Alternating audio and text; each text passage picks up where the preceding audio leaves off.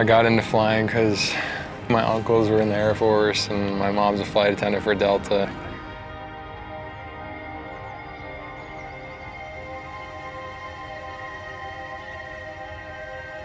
I just always loved flying and aviation.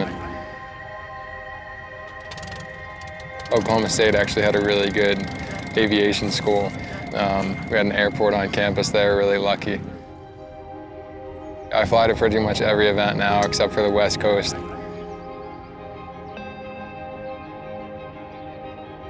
The first thing that comes to mind is like the freedom, you know, you, I can go anywhere at any time.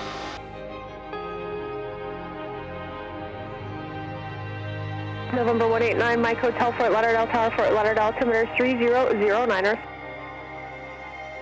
There's no two same days of flying. The clouds are always different, the winds are different, the, your, your performance is different. It's pretty awesome.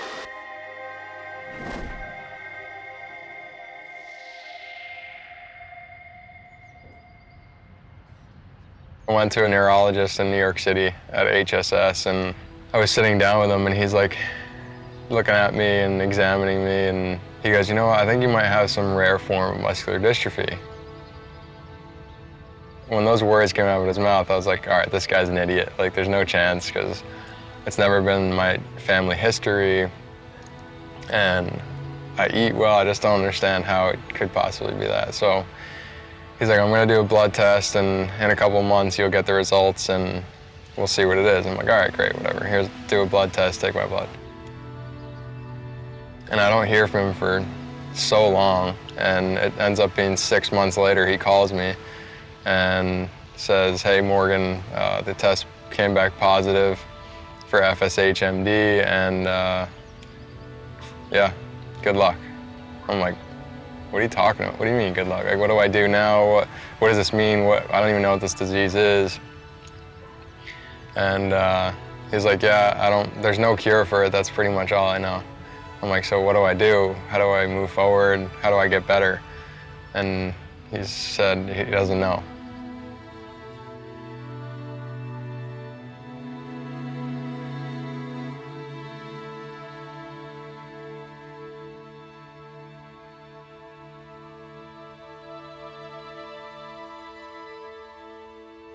The, the name of the disease is um, facioscapular humeral muscular dystrophy, which is abbreviated to FSH-MD. If you just look at your arm, for example, and you see the muscle there, and then if you had muscular dystrophy, this type, it would just be like tendons and tissue like that. So that's what started happening with me and my right pec.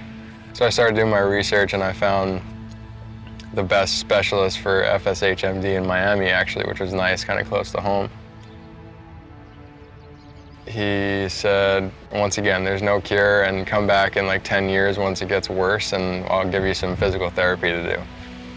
From that moment on, I was just so frustrated with the, the doctors that I've seen and uh, looked at other options, more naturalistic, holistic path and that's when I started researching food and how it can heal and, and change your genes and um, completely change your genetics just by eating a certain way. And I then went on some crazy diets. I did a 16-day grape cleanse. Um, so I ate red grapes for 16 days and just water. It's probably the hardest thing I've ever done. My girlfriend was in Nepal and she met this doctor there that uh, treated cancer and muscular dystrophy. And she's like, hey, I think you should really look into this if your cleanse doesn't go well. And the doctor, once I got in contact, him, contact with him in Nepal, he said, uh, come over for three months, the treatment is 90 days, and um, I guarantee you'll be better. It's like, all right, sweet, let's try it.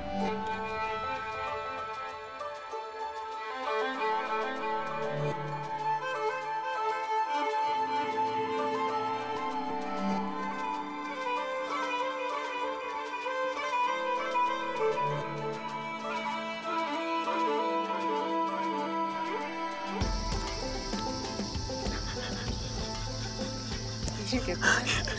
he like made eye contact with you. So I went over there for just under four months and it was difficult. It was really hard. It was like five to six hours a day of, of laying on a, a table and having two guys rub herbs on me and let them dry and then rub them in and let them dry and it was, uh, it was tough.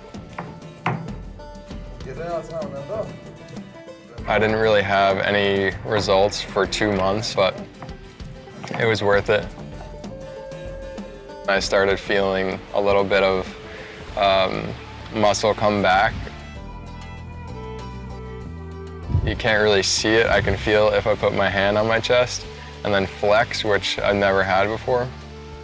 So that was really exciting.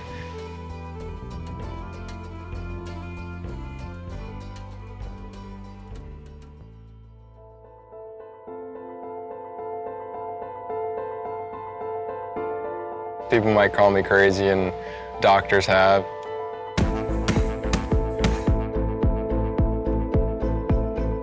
I think the mind is so strong and the body is self-healing. It's just so incredible what the body can do and on its own. And if you feed it right and give it the right nutrition and use your mind to help it, I think anything can be done.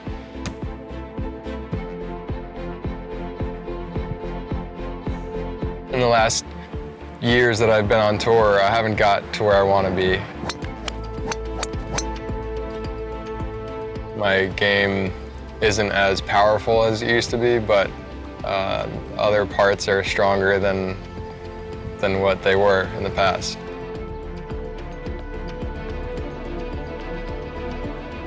It's been a learning process coming back, but I think uh, I, I can still compete.